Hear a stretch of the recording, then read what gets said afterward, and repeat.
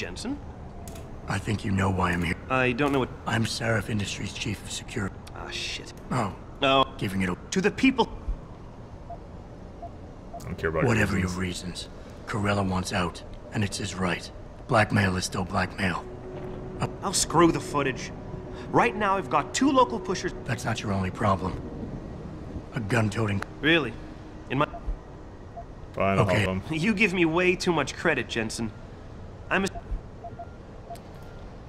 You're asking... That's a bit drastic, isn't it? Okay, cool. I'm gonna kill them now. It's a shame I don't have that that augment that allows me to uh, to get two people at once, because that's always fun. Maybe I should tr consider getting that.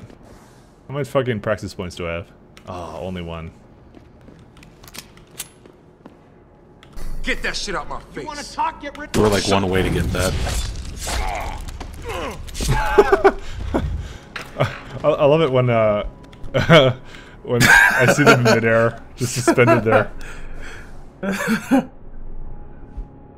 That makes it all worth it. Did they seriously not know I did that? Well, that was the easiest mission ever. Another job completed by Adam Jensen, Chief of Security. Look, I told you. I did it. I've taken care of the deal. Thanks, Jensen. Uh, whatever. I didn't do this. for Whatever, you. Tyndall. I didn't do this for you. you coerced a man into breaking the law to serve your own purpose, and in my book, that makes you a piece of shit.